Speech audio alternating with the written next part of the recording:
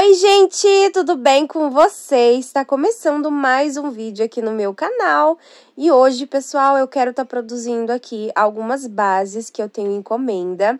São encomendas para fazer futuramente aí, todos os dias eu quero fazer um pouquinho. Então, gente, eu quero já produzir as bases porque me adianta muito e assim eu consigo ser mais rápida, mais ágil.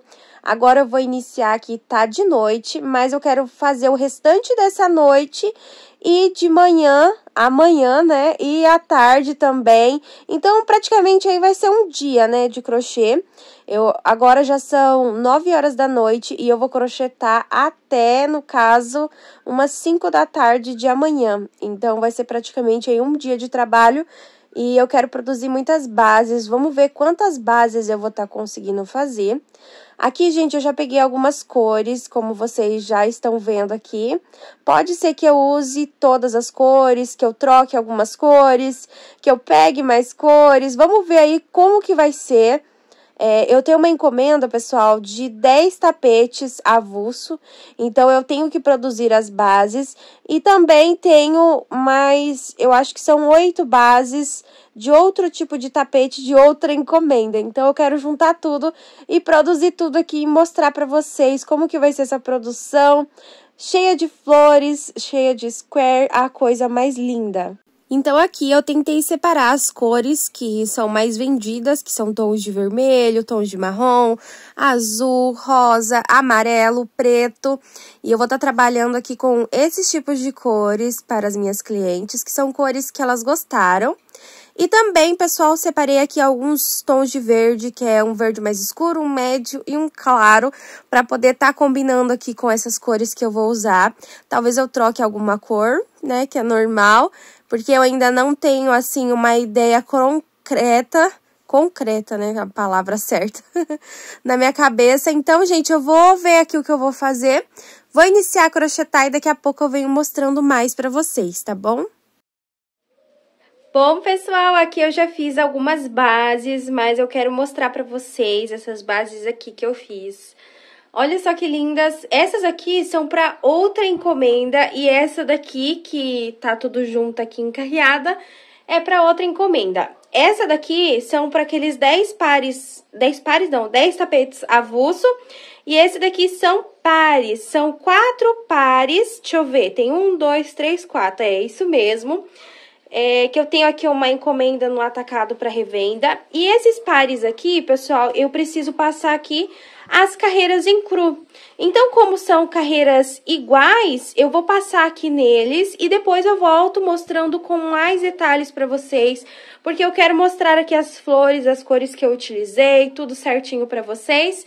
Mas como eu preciso fazer aqui algumas carreiras no cru e eles são todos iguais, então, gente, eu vou já aproveitar aqui que eu tô com o meu cru, vou passar aqui as carreiras e aí eu volto mostrando tudo aqui, detalhe por detalhe, para vocês.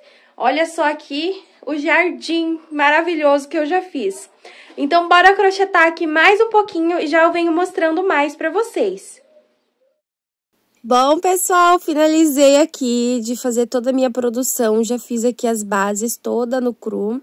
Também aqui tô com as minhas florzinhas que eu mostrei pra vocês antes. Agora eu vou mostrar uma por uma. Aqui, pessoal, eu fiz uma base toda em amarelo outra aqui toda no azul. E aqui vai ser uma de cada cor, tá, gente? Porque é um tapete de cada cor. São avulsos. Fiz essa daqui também marrom, que ficou linda. Essa daqui, pessoal, já fiz diferente, ó. É, eu fiz uma florzinha de cada cor e ficou maravilhoso. Tô com uma ideia na cabeça. Aqui eu fiz uma toda em tons de rosa, que vai ficar lindo, né, gente? Fiz também uma nesse, nesse tom aqui, que eu não sei qual que é. Eu já tinha abrido o barbante, eu não lembro qual é a cor certa. Fiz também essa daqui, ó, toda em rosa, um rosa mais escuro. E eu fiz também aqui, gente, toda vermelha, ó. Eu fiz duas bases aqui vermelha, porque vão ser dois tapetes diferentes. E a última aqui, gente, é preta. Olha só que lindo. O preto não pode faltar, né? O vermelho também não. Então, eu fiz duas bases que vai ser tapetes diferentes, né?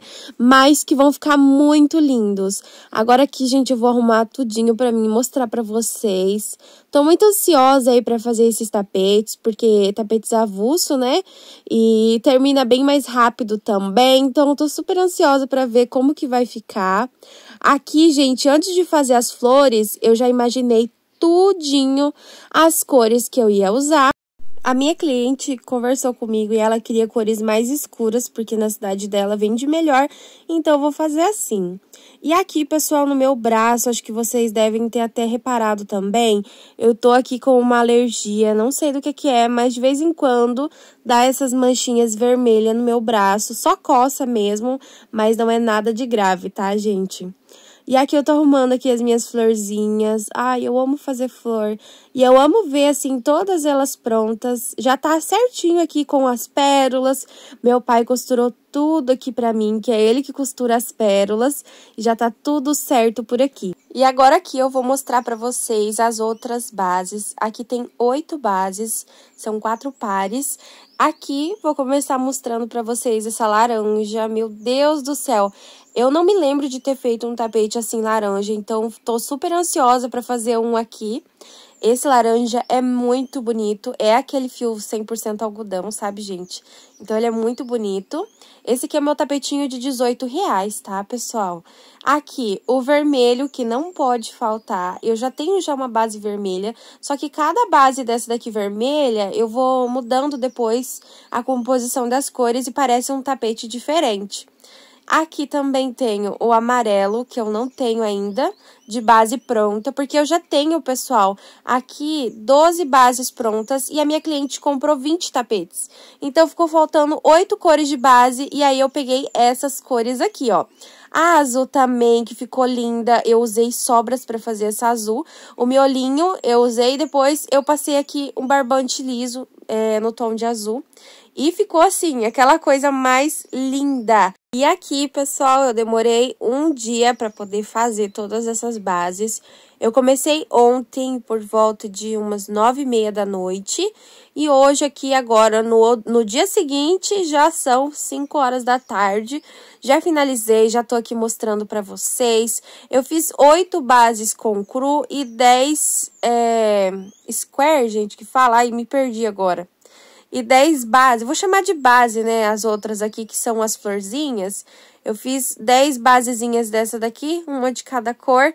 Então, totalizando, pessoal, vai dar para fazer aqui 18 tapetes para as minhas encomendas, para as minhas duas clientes. E tô muito ansiosa aí para ver como que vão ficar esses tapetes, porque aqui essas flores estão muito lindas. Então, gente, esse daqui não vai ser um atacado para vender flores e nem base. Eu mesma que vou produzir aqui com essas bases que eu fiz para mim. Aqui eu estendi todas as minhas bases para conseguir mostrar para vocês. E a minha produção de um dia nem cabeu aqui na minha mesinha por completo para mostrar para vocês. E eu fui muito rápido, eu achei que eu fiz bem rápido mesmo. Até meu pai mesmo, que em um dia eu ali crochetando e ele foi costurando aqui as pérolas. Eu tava com visita em casa e meu pai, mesmo conversando ali com a visita, ele estava costurando as pérolas para mim. A gente estava fazendo um doce em casa, então ele não estava trabalhando para fora. E aí rendeu aqui nas pérolas também, porque normalmente meu pai demora um tempo a mais para poder costurar ali as pérolas, mas ele também foi bem rapidinho, conseguiu costurar tudo, porque esses são 10 bases com flor e cada uma tem 3, são 30 flores, é bastante coisa. E eu fui fazendo ali a parte das flores, é, depois eu fui emendando elas, aí eu ia arrematando. Então, gente, a minha produção foi essa. Eu achei que eu fui muito rápida. E se você quer dar uma agilidade aí, uma rapidez a mais na sua produção, faça um monte de base, pega todas as suas sobras, os mescladinhos abertos, pega tudo que você tem, coloca dentro de uma caixa e vai imaginando aí o que você quer fazer. Dá uma olhada no seu estoque de barbante também, quais são as cores que que você tem, produza bases que vai combinar com aquelas cores. E aí, pessoal, você vai só depois fazendo os tapetinhos e ali, logo quando você piscar o olho, tu já tá com um monte de tapete aí, é só vender no final de ano, principalmente para quem quer fazer Black Friday. Gente, eu não sei falar esse nome. Mas aquela promoção lá que tem em fim de ano, que eu não sei falar o nome aqui, mas vocês já entenderam o que que é, né? Então, vocês podem estar tá fazendo isso e assim vocês vão eliminando sobras. Então, intercala aí se você tem encomenda, se você não tem encomenda. Vai fazendo aí sua produção. Eu espero que esse vídeo tenha motivado vocês a trabalhar dessa forma também. Aqui, gente, eu já vou ter 18 tapetes aqui iniciados. É só produzir e entregar para cliente. Então, vai adiantar adiantar muito aqui o meu processo. Esses tapetinhos com a base cru são aqueles de 18 reais e os de flores aqui, a minha cliente optou pelos de 20 reais. Então, logo, logo vocês vão ver muitas produções aí e eu vou fazer de umas cores bem diferentes, que eu tenho certeza que vocês vão gostar muito aí das combinações que eu vou usar. Pesquisei bastante antes de fazer essas bases e tô super ansiosa aí para concluir mais essa encomenda e finalizar tudo. Então, aguardem aí os próximos vídeos que vai ter muito mais coisas legais. Por hoje eu vou ficando por aqui e eu espero vocês no meu próximo vídeo. Tchau, beijo!